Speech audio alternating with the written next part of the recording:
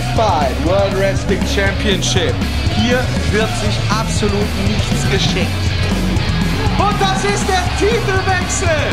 Und in vielen, vielen besonderen Momenten hier bei Wrestling Extreme Wrestling gab, wird dieser Moment, wo wir Noah ausrichten, den THC World Heavyweight Title mit nach oben aufgestellt. Also hier ist das los heute.